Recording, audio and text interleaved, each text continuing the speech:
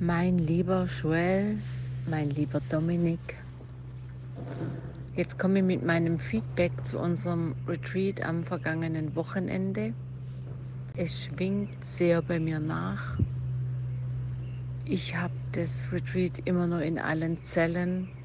Gerade eben komme vom Berg und ich hätte es sonst nie gemacht. Sitze mir ins Eck und meditiere nachmittags um halb drei es hat mich so inspiriert. Das war eigentlich so meine größte ähm, äh, Inspiration wieder in den zwei Tagen, wie wichtig es ist, nach mir zu schauen, in meine Kraft zu kommen oder in der Kraft zu bleiben, vom Außen ins Innere kommen und mir diese Rückzugmöglichkeit der Meditation zu nehmen. Aber es gibt viele Punkte, die ich äh, ganz, ganz, ganz positiv fand. Äh, zu Beginn die Location per se, die war, ich bin da ganz berührt, wie liebevoll gestaltet werden kann. Jede Ecke hatte was Besonderes und man hat es gespürt. Ähm, ich habe das so wahrnehmen können, wie viel Herz in, in diesem Gebäude, im Garten, in jedem Stein, äh, in jeder Blume war. Und es war einfach das, der passende Rahmen für, für unser Zusammentreffen. Ein tiefes Vertrauen. Für mich war das so großartig, wie sich alle geöffnet haben.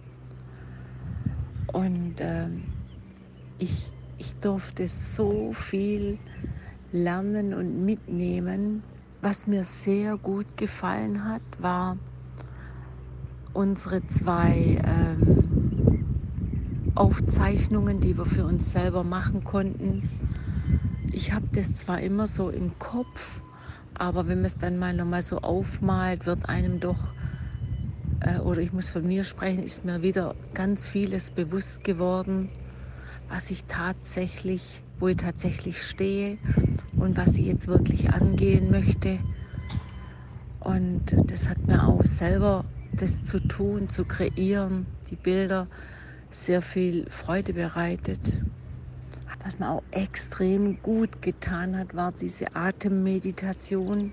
Ich praktiziere es jetzt auch hier, wo ich bin schon ganz regelmäßig und spüre, wie auch wie meine Zellen mit dieser Energie versorgt werden und wie ich äh, noch munterer bin und aufgeweckt und energiegeladen. Die Inspirationen, die durch das entstehen, sind wahrscheinlich überhaupt nicht äh, zu beschreiben, also wie wichtig diese, dieses Atmen ist. Und deshalb war diese Meditation für mich ähm, ausgesprochen wichtig, weil es auch nochmal so ein neuer Aspekt für meine, für mein, für meine Handlungen, für meine Routine äh, geworden ist.